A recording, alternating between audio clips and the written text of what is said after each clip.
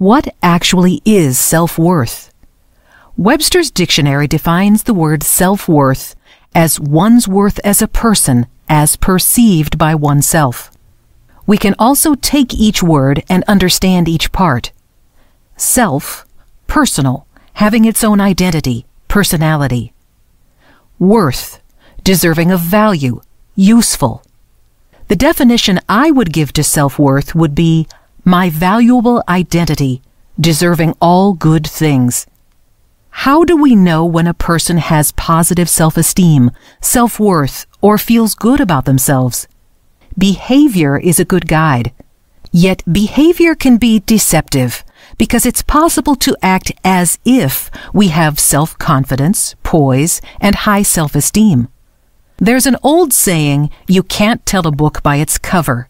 Similarly, we can't always tell what's going on inside a person who appears to be perfectly confident and self-assured, the epitome of someone who has a high level of self-esteem. If we were to tune in on the thoughts of a person with a positive self-attitude, we might hear self-descriptive statements that sound like this. I consider myself a valuable and important person, and I feel that I'm at least as good as anyone else of my age and background. I think I've earned the respect and consideration of my peers and coworkers.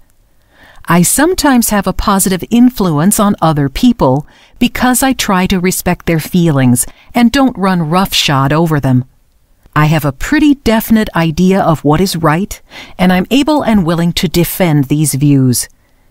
At the same time, I feel that I'm fairly flexible, and I'm willing to listen to other points of view without feeling threatened and under attack.